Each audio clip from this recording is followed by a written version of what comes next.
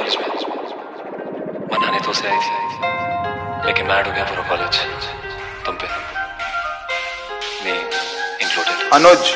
Banda